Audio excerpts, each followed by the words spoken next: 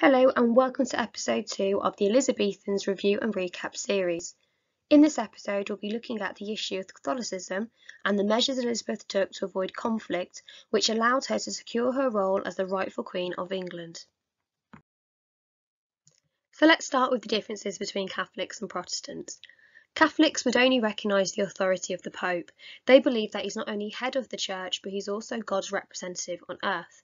They would want the Bible and the church services to be in Latin, and they believe in something called transubstantiation, which is the physical belief that the um, bread turns into the actual body of Christ and the wine turns into the actual blood of Christ, which is different to what Protestants believe.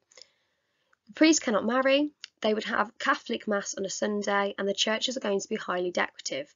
In contrast, then, Following the Act of Supremacy in 1534, the English churches became a lot simpler. The Act of Supremacy placed the monarch as the head of the church rather than the Pope. The Bible was to be in the vernacular, in this case English, and the churches were much simpler and symbolic because the focus needs to remain on God. So Elizabeth herself has a problem. When she becomes queen, she's just followed on from her sister Mary, so Catholicism was once again reinstated as the main religion as England. So what she decides to do is introduce something called the Religious Settlement in 1558. It's intended as a compromise, which means she's not going to be Catholic like her sister Mary's, but she's also not going to be a strict Protestant as her brother Edward. Elizabeth is a moderate Protestant which means she rejects the idea of transubstantiation, but she's not a radical Puritan either. So what she does, the religious settlement is split into two. The first part of it is the Act of Supremacy. She's very careful in the wording here. She calls herself Supreme Governor of the Church and not Supreme Head. This is because she would believe that the head of the church should be Christ. Governors tend to oversee, they're important, but they use the views of others to make decisions. So what she's doing here, she's reinforcing the fact that Protestantism is going to be the true and official state religion, but she's also trying to pacify Catholics by not rejecting the authority of Christ. However, what is really clear here is she's stating it's not going to be ruled by the Pope. That means to not recognise Elizabeth as the head of the church is going to be considered treason. Then we've got the Act of Uniformity.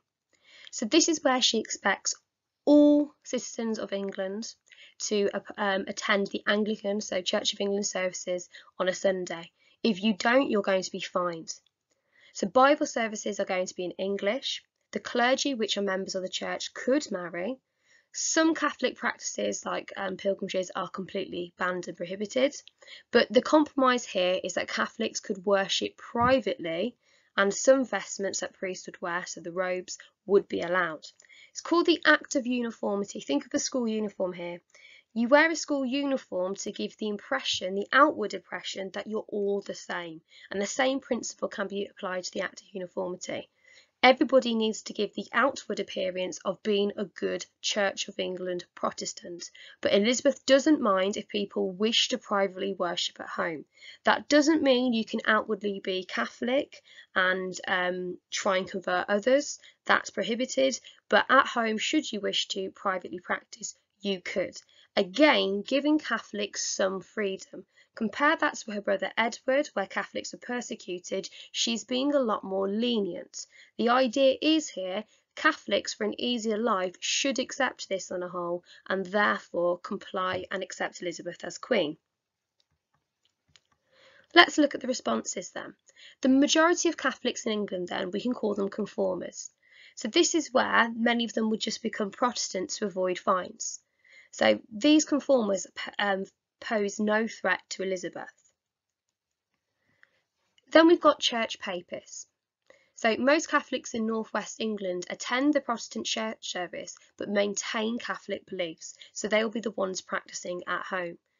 They want to avoid paying the fines and they don't want to challenge Elizabeth as Queen, but one day they probably will hope for a Catholic successor. But again, they don't pose any threat to Elizabeth because they are conforming to the law. There are going to be plotters throughout Elizabeth's reign, but there's fewer than 200. So plotters want to actually physically remove Elizabeth from the throne, and they are loyal to the Pope rather than Elizabeth. But the people who actually are the biggest threats are the recusants. So these are thousands of wealthy English Catholics, mainly located in the northwest of England. They refused Protestant church services and went to Mass instead. They can afford to pay the fines because they belong to the gentry or nobility class, and they hope to replace Elizabeth with Mary Queen of Scots, who we'll talk about in future slides. These are actually the biggest threats to Elizabeth because although they don't necessarily want to um, remove her and see her dead, they are the ones that have the money, the influence, and they are by, by far the most numerous. So let's now talk about that growing Catholic threat. So at the start of her reign, Elizabeth is very moderate and lenient. However, with the growing Catholic threat, she begins to change her attitudes. But let's see what's going on in the country. So in 1570 it's a turning point. There is a papal bull issued by Pope Pius V. So the Pope issues a statement and it's published in England and across Europe where he claims that Elizabeth is an illegitimate monarch. Illegitimate is referring back to her parenthood and if you can remember from the first video I did we spoke about the fact that Henry VIII was married to Anne Boleyn, that's his second marriage. Catholics would never have accepted the uh, first separation and therefore could have argued that Elizabeth was never a legitimate child and therefore couldn't inherit the throne. He also called her pretended queen, so again reinforcing the fact that she should not be Queen of England. And at this time, Mary Queen of Scots is also building up support. We'll talk about Mary Queen of Scots later on, but it's really significant because there is somebody else who is suitable to take the throne from Elizabeth. He's hoping to inspire internal and external rebellion, so that's within England but also within foreign countries. And what's significant here is the fact that he's saying the rebels will have the protection of the Pope, and this means that some attacks are now going to be considered justified. So let's see what happens then with the priests in the country. So not surprisingly, based on the Papal Bull of 1570, the seminary priests from Europe start to come to England to try and encourage Catholics to um, keep going to Mass. The purpose of this then is to keep the faith alive within the country. But we also have the emergence of something called Jesuit priests. They are priests who are trying to convert people to Catholicism. They're a much bigger threat than seminary priests because they actually want to turn people away from Protestantism back towards Catholicism. And we'll look at some examples in just a moment. Priests could hide then in something called priest holes, and these would generally be in the wealthy Catholics' homes. So this is where they physically there might be trapdoors or secret rooms built in so they could actually harbour um, these Jesuit or seminary priests secretly. A man called Nicholas Owen designed some of these in the most popular houses in the country. As a result, then priests were hunted by Walsingham and his spies, and if they're caught, they would be executed. This leads to something called the Bloody Question in 1585. Any priest who would be arrested would be asked this bloody question, which is basically asking them in the event of a foreign invasion, if an army was to invade and try to reinstate Catholicism, who would they be loyal to? If they say they'd be loyal to the papacy, so the Pope, they're going to be executed for treason. But if they say they're going to be loyal to Elizabeth, their life would be spared, but they've abandoned the Catholic faith. Edmund Campion then is an example that we're going to look at here. So he's probably the most infamous Jesuit priest. He arrives in 1580, he's captured in 1581. He made a pamphlet about Catholicism and he's trying to encourage people to turn away from their Protestant beliefs. He's actually um, tortured quite extremely, stretched on the rack for information. He ends up being dragged to his execution in Tyburn where he's hanged, drawn and quartered for treason. Let's look at some of the plots then that links to this. So let's start by talking about Mary Queen of Scots. So Mary Queen of Scots is Elizabeth's cousin. She is also named successor because Elizabeth does not have any children of her own. The problem with Mary is that she is Catholic and she rightfully can claim the throne because she does have Tudor blood. When the Protestants removed uh, Mary from the Scottish throne on allegations of murdering her husband, she came to England in 1568 hoping for help. So she was Queen of Scotland. She formally was married to the King of France before he died, but she's actually overturned from the throne. She comes to England, comes to Elizabeth for help. Elizabeth has a difficult decision to make. She could say to uh, Mary, you need to go into exile, um, so to a foreign country like France, for example. But the problem with that is she might be able to harbour support abroad. So Elizabeth chooses to keep her in England and chooses to keep her under house arrest, which means she can regularly um, watch her movement and be in control of who visits her. The problem is many Catholics want to actually see Mary Queen of Scots um, succeed Elizabeth to the throne and for some cases they actually want her to take the throne from Elizabeth. So Mary Queen of Scots is referred to as a figurehead for Catholics. That's a term you need to know. This is really problematic because there is somebody who legitimately can claim the English throne.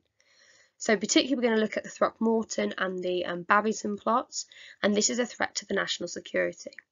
So let's start then with the Throckmorton plot in 1583. The aim then in short is for the French army to invade England and replace Elizabeth with Mary Queen of Scots. It's devised by a man called Francis Throckmorton who is working with the French Catholic, the Duke of Guise. What's really important is their support from not only the Pope but Philip II of Spain. Mary Queen of Scots continued to be held in isolation and could not receive any visitors following the upheaval um, of this plan. It is unsuccessful, it is found out by Walsingham and his spies, but it leads to something called the bonds of association. So anyone going forward um, associated with a plot or a leader of the plot could be executed. This proves that Elizabeth feels intimidated. What's really significant about this is because Mary Queen of Scots was not actively involved in the Throckmorton plot, the bonds of association now means in future um, plots against her, Mary Queen of Scots, just by being named as a figurehead, could be um, responsible for treason. Which brings us to the Babington plot of 1586. This was comprised by Sir Anthony Babington, who planned to rescue Mary Queen of Scots from jail and murder Elizabeth. Secret letters then were exchanged between the plotters and Mary, and they were discovered as evidence to prove Mary's guilt. You might remember this from lessons, so we looked at the fact that Walsingham was actually very aware of the plot going on, and there was actually encoded letters that were transported in um, beer barrels. The um, Plotters then are tortured and they get these um, confessions from them which names Mary as leader of this plot along with Babington. So this is the excuse they finally need to put Mary Queen of Scots on trial. She's found guilty and she's executed of treason.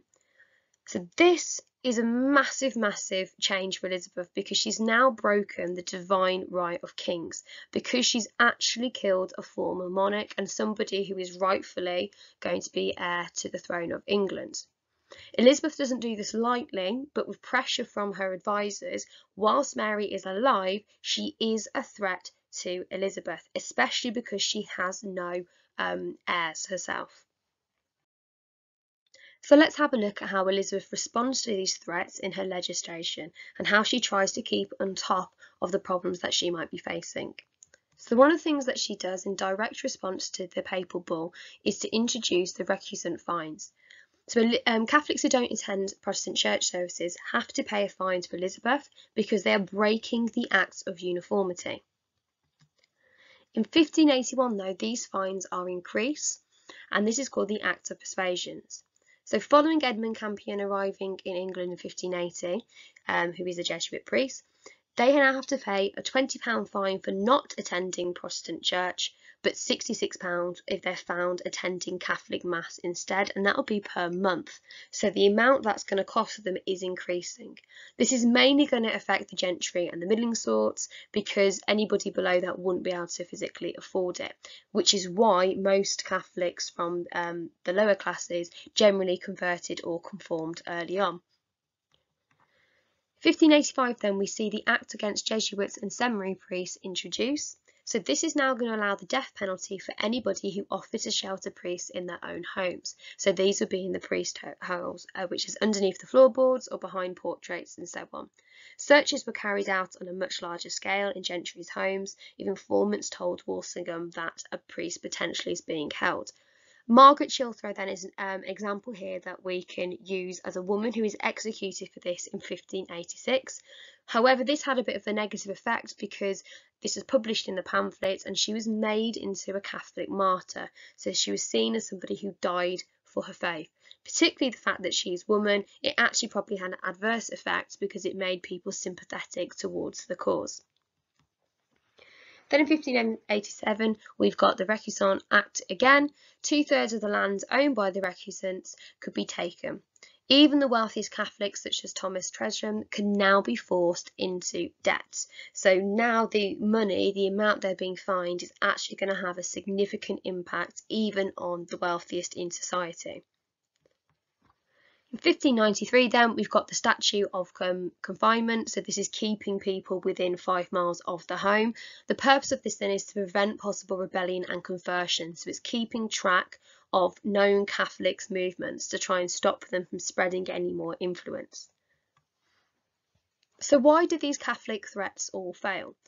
So firstly, we must credit Elizabeth's responses.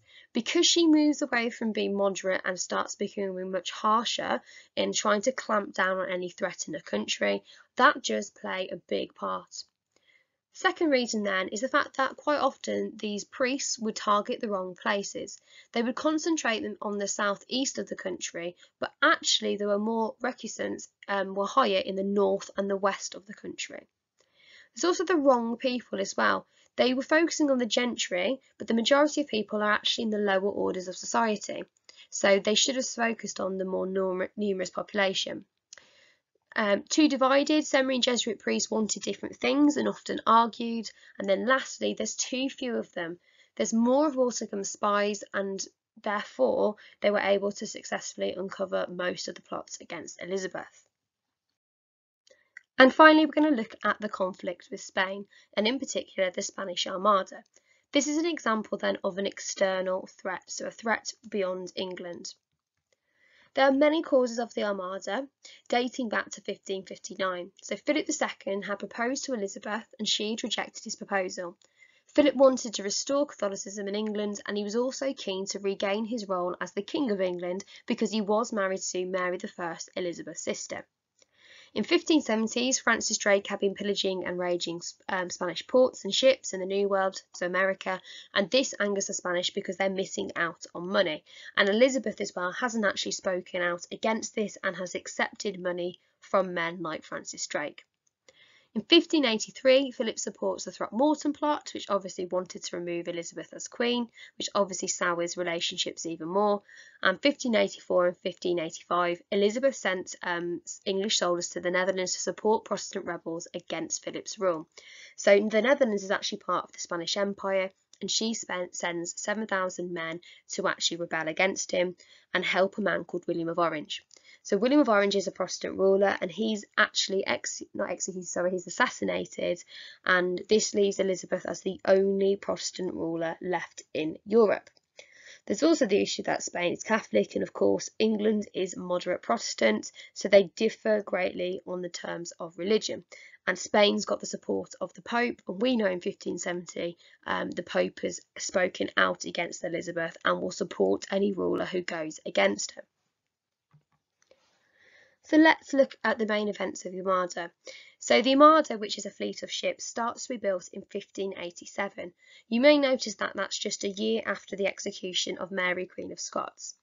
Whilst the Mary Queen of Scots execution doesn't actually trigger the Armada or the war, it obviously increases tensions because it shows that she's actually um, prepared to execute um, another Catholic ruler it's they're already at war at the time, so all it does is actually make the situation worse, but doesn't actually spark the war because it's already happened. There's an army of 20,000 men then it's going to be led by a man called Duke of Parma, and the plan is they're going to collect more men from the Netherlands on the way. However, there's a surprise attack on Cadiz by um, Francis Drake, which damaged lots of the Spanish ships. So before they've even set sail, they're at a disadvantage. There's also lots of English lookouts, they spot the arrival of the Armada before they get to the coast. You might have heard the story where lots of beacons were lit, so it actually signified that they had arrived and the word spread really quickly, so it gave the chance for the English to actually prepare. The ships end up off the coast of Scotland, and some ships, um, because they've got no maps and because of the poor weather conditions, they don't actually end up on target. So their numbers are actually diminished by the time that they arrive. So reasons for the failure, because it doesn't work, it's a monumental fail for the Spanish. Um, it's partly due to the tactics of the English and good leadership, but there's also factors they couldn't control. So the English used fire ships. They used smaller ships to um, push them into the crescent formation that the Spanish ships were using, and this led to lots of panic and confusion and massively helped the English gain an advantage. The Duke of Medina Sidonia then had limited experience in battle. He's, it's an example of poor leadership. Whilst he was a great military leader, he had no naval experience, unlike the English who were being led by Howard, Drake, and um, Hawkins. So the comparison is they're much more experienced um, naval officers. Spanish boats ended up um, on the Scottish coast due to strong northern winds. Um, the storms wrecked Spanish ships onto the coast, and later Elizabeth would say that God blew and they were scattered. So this is the actions of God. There is a delay in the Parma's um, troops, meant that Armada was delayed in itself. And lastly, the Armada never picked up the troops in the Netherlands as communication was impossible. So the defeat of the Armada was a very powerful propaganda tool for Elizabeth. She said that God was on her side. And going forward from 1588 onwards, this really secures Elizabeth as one of the leading um, rulers in the whole of Europe, and England goes from strength to strength in terms of power. That, that said, though, they really were the underdogs at the start of the Armada. They had less men, less money, and despite the fact that Elizabeth was successful, it did cost her £4.5 million because the war with Spain does continue for a few more years. It puts a massive drain on the already limited finances, and she couldn't actually pay many of the soldiers, so she has to keep them on the ships, and many die. So it's not completely a, a success for Elizabeth. There are some negativities that follow. But overall, following the victory of Spain, the Catholic threat did fade and the majority of Catholics in England start to attend Church of England services without complaint. So overall we can see but by 1588 Elizabeth on a whole has very successfully managed to handle the issue of Catholicism within England and she now has a much stronger rule in her country.